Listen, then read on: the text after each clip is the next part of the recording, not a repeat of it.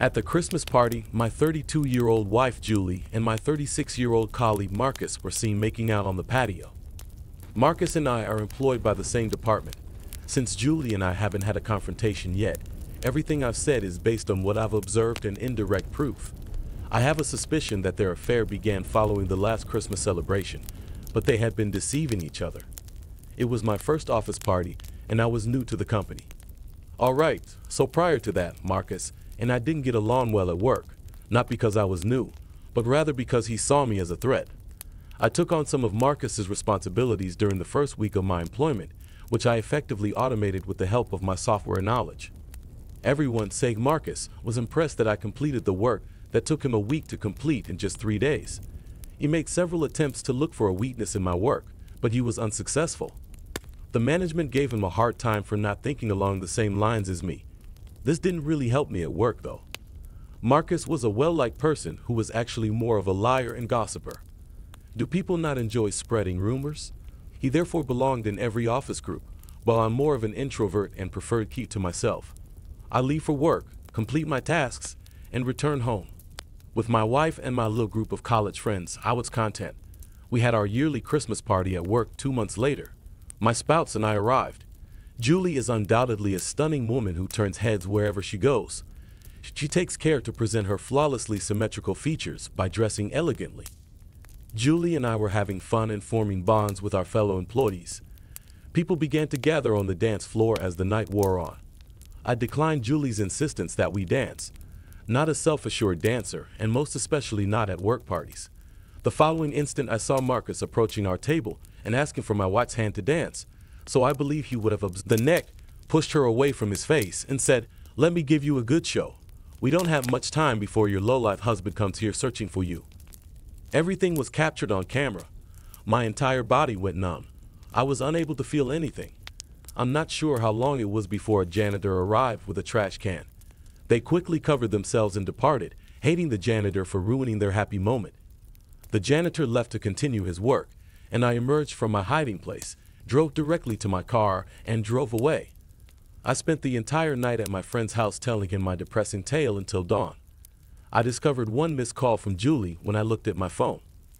It appeared to be a polite call to let me know she was thinking about me. She must have been relieved to see me go so she could be publicly thrashed by her partner. I returned home this afternoon. Obviously, she was still sleeping. Must have been hurting after what happened last night. I headed to my study to plan my retaliation. Her cheating only hurts, but what's even more ridiculous is that she's sleeping with the man who has ruined my life. I'm currently scrounging around Marcus's wife. I will locate her and forward the recordings of his infidelity. Marcus doesn't have any public social media accounts. His buddies list is hidden from me. I have no idea what her name is. To be honest, I had no idea she was even alive. Please assist me if you know any tips or strategies for getting concerned because she was not even acknowledging the increasing distance between us. I begged my manager to either stop sending me on work trips so frequently or to split them up between Marcus and me, but he refused. I could handle the client there better, he remarked.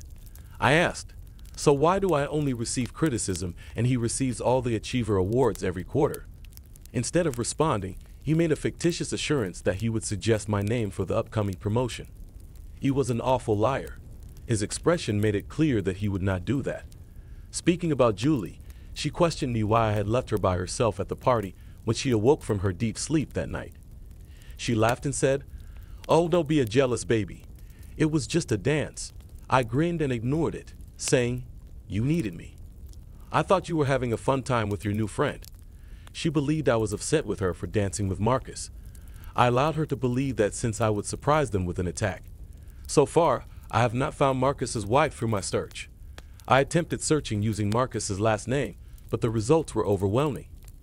I'm considering searching through the company's database for Marcus's address and going to his house. I can think of no other choice but this. We would gladly accept any better suggestion than this one. These days, isn't a buddy request really equivalent to second base? It appears that Marcus is a social media seducer par excellence, in addition to being a skilled manipulator at work. Marcus, really? Heart emojis. Do we attend middle school? Ah, the classic dance floor diplomacy move. And it was just a dance. Because there are a few things that say innocence like getting down with your office rival in front of your husband. It's a low blow that. That's not how you do it if she wants to keep quiet and avoid drawing attention to herself. Second update. It is nearly impossible to locate someone on social media without a name or handle, as some of you have already mentioned. I was very sure I would find his wife at his place, but then my friend told me about Noah, my coworker. I had a feeling he could assist me here, having knowledge about Marcus's wife.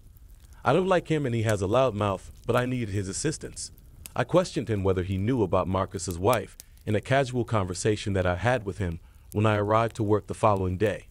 That's how he is a bothersome piece of garbage. He grinned and said, I knew you would ask about her, especially after last night's twerking. I didn't have the confidence to ask him her name, even though I really wanted to. Perhaps sensing my powerlessness and desperation, he inquired, Do you want to know her name or contact? I shouted out, excited, please. He gave me her name and promised to get her number from his sister. I discovered her on Twitter after searching for her on all social media sites. Noah doesn't need the number, I informed him. Her Twitter bio stated that she was employed by one of the top multinational companies in a managerial capacity. I texted her, telling her I needed to talk to her about her husband, something really urgent. In response, she requested me to call her and gave me her number. I got the impression from her remark that she was a strong, sensitive woman. I gave her a ring and said hello. I gently informed her that I had the video of her husband and my wife together and that they were probably planning something. She requested that we get together after work. Sure, I replied.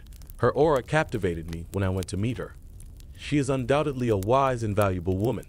How could a man with such intelligence cheat on a woman of such beauty?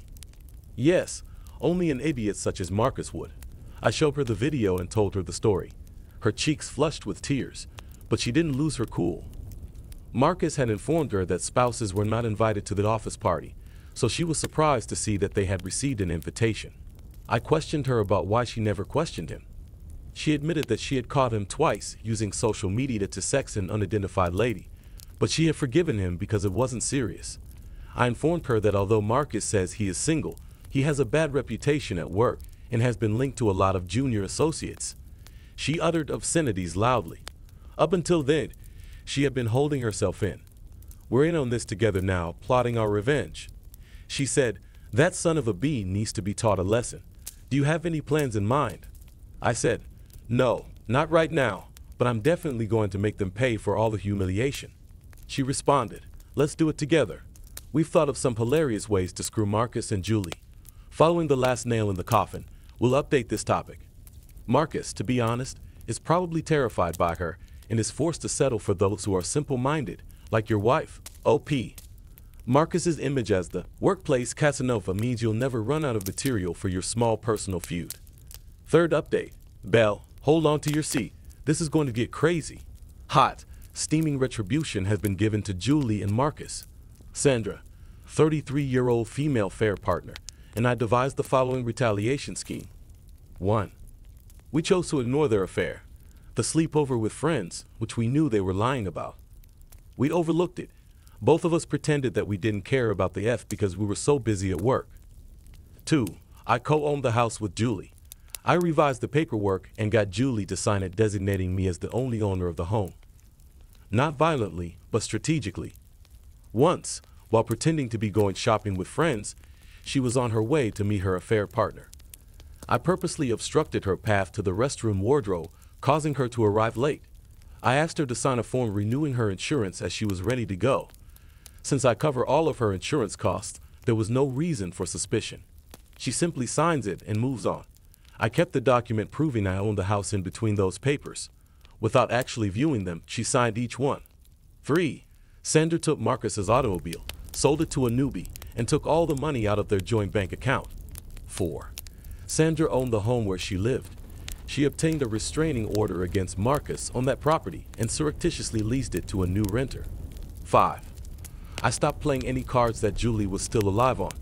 The retaliation for numbers 3, 4, and 5 was carried out in the final moments before they were ghosted.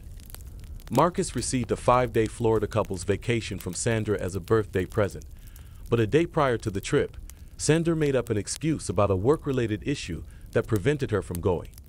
Marcus immediately proposed that he and his male companion go on this trip together. Sandra consented as the package included no refund. I told Julie a falsehood at the same time, saying I was leaving for a 15 day work trip. During that time, I made a hotel reservation. She told me over the phone that she was traveling to Vegas for her school friend's wedding. I asked her if she had any friends that I was unaware of.